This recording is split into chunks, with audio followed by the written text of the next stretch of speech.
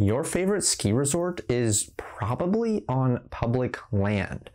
Of the 10 most popular ski resorts in the United States, nine of them are located on public land, mostly national forests. The White River National Forest in Colorado has 11 ski resorts by itself, including Vail, Aspen, Breckenridge, and Keystone. In fact, across the National Forest system, there are 122 ski areas. And despite hosting only one quarter of all the ski areas in the United States, national forests account for half of all skier visits nationwide. Those visits also make skiing the second most popular recreational activity on national forests, behind only hiking, 16% of their entire visitation. And this is for a sport that can only happen a few months out of the year. And, and, this all happens on 0.1% of our national forest land.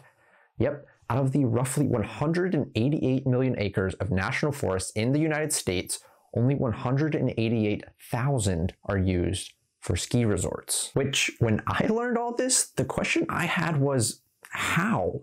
To reiterate, 16% of the entire visitation to our national forest takes place on just 0.1% of their land. That is a heavy concentration of users. I mean, what kind of impacts is this having on the forests? Also, how do these resorts operate on public land? What sorts of rules and regulations are there? What is the permit process? Like, is there even a permit process? There is. What about access? This is public land, so can they charge you to use the slopes? Ski resorts aren't an intuitive use of public land. I mean, how many of you knew that these big ski resorts were even located on national forests? But I'm going to answer all of those questions for you because that's kind of what I do here. My name is Cameron, this is National Park Diaries, and I make videos about parks and protected areas and public lands, and instead of giving you a list or a hiking guide, I just yell at you about why these places are so cool, but actually these videos are designed to be educational and engaging, and I would very much appreciate it if you gave the video a like and subscribe to the channel for more park stories.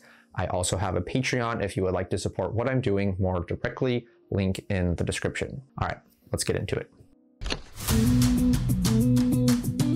Oh, also, when I say skiing in this video, I'm referring to skiing and snowboarding at like resorts. You, you know what I'm talking about. So I've thrown some numbers at you. We know skiing is a very popular winter recreational activity and we know public lands are disproportionately represented when it comes to where people are going to ski. What I didn't know though is that skiing is like super old. There's evidence of skiing going back more than 4,000 years, and the first written accounts of skiing date back to the Vikings around 1000 AD. Here in North America, skiing wasn't introduced until the mid-19th century, when some Scandinavian immigrants introduced it to the Midwest. It later became prominent among miners during the California Gold Rush. They actually had these super secret recipes for ski wax, and they would compete against each other in downhill races, getting up to 85 miles per hour.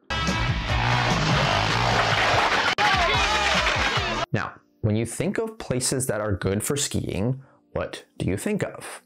Two hours later. Mountains. Yeah, mountains. If you want to go really fast down a hill on a couple of pieces of wood, you gotta have a mountain. And it just so happens that a lot of our national forest lands are in the mountains.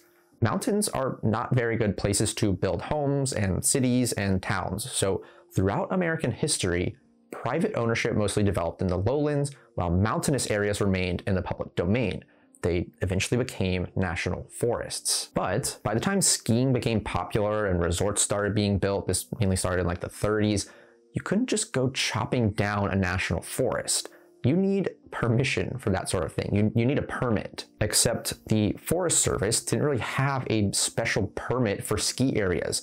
They really only had a specific permit system for logging and grazing. Everything else they just considered a special use. So ski resorts ended up falling into this like kind of clunky permit system called the dual permit system. Essentially, resorts would need two permits, one for infrastructure, things like lifts and resorts. They granted these on a 30-year basis. The other permit was for ski trails and land uses. Essentially, the land on which people would go and do the skiing. In exchange for these permits, ski resorts would pay a fee to the federal government for use of the land. You can think of it a little bit like rent. To give you an idea of how much we're talking about, Vail Resorts paid more than $6 million in the 2015-16 season for their use of the White River National Forest. But this permit, the land use one, had to be renewed annually. Ski resorts didn't really like this arrangement because it made financing more difficult. Finance people like long-term arrangements for big capital investments like that, and ski resorts are expensive, so having to renew a permit annually wasn't exactly ideal. So in 1986, Congress passes this law called the National Forest Ski Area Permit Act, the NFSAPA. This law is only like two pages long. I linked it in the description if you want to go read it. But the basic gist here was to implement an actual separate permit system for ski areas. The permits were granted for 40 years, not just one, so the banks were happy about that. And then, even though the act didn't specify it, the Forest Service adopted a series of administrative rules that required annual development plans, operating plans, engineering plans, site-specific analyses for individual resorts, and required the resorts to follow NEPA guidelines. That's the National Environmental Policy Act. This whole act was designed to formalize the ski resort permit process on national forests to make it more organized and efficient for this particular use of public land, skiing and snowboarding in resorts. Something interesting happened after NF SAPA was passed though. Take a look at these numbers. They're for total ski resorts, not just ones on public land, but they'll give you an idea of the trend regardless. From 1930 to 1980, pre-NF SAPA, 286 new ski resorts were built in the United States. Since then, fewer than 50 have been constructed. There's a couple reasons for this, and this is where ski resorts and public lands issues start to overlap. Like this is where we start to talk about what we want public lands to be and how we think they should be used. Ski resorts, like other uses of public land, are not immune to scrutiny and discussion. Just like we do with logging and grazing and mining and hiking and mountain biking and just about everything else, there's a discussion to be had about how ski resorts use public land. A big point of emphasis in that discussion is environmental impact it's not exactly a secret that ski resorts have negative environmental impacts. I mean, you're carving ski runs into a mountainside. That means habitat fragmentation and carbon emissions. There are concerns over excessive water use, air and water quality, and the sprawling development patterns that resort towns tend to encourage. The ever pervasive issue of climate change also raises questions over the long term viability of ski resorts. In this way, environmental opposition is one of the reasons resort development is down, along with more environmentally sensitive regulations from the Forest Service. On the other hand, though, ski proponents counter that these effects are concentrated. Remember, ski resorts only use 0.1% of national forest land. They also argue that the economic and recreational benefits of skiing outweigh those negative environmental impacts. Skiing in general is a multi-billion dollar industry, and according to a Forest Service estimate, skiing on national forests generated $2.5 billion for the national economy, fully 25% of the Forest Service's overall output. Skiing generates more revenue for the Forest Service than timber sales and every single other recreational use combined. These economic benefits are not insignificant for these small rural areas in the mountains, places which would otherwise basically struggle to survive. A large portion of their economies are based on recreation, including skiing. Now, currently there is a problem with this revenue staying in the forests themselves.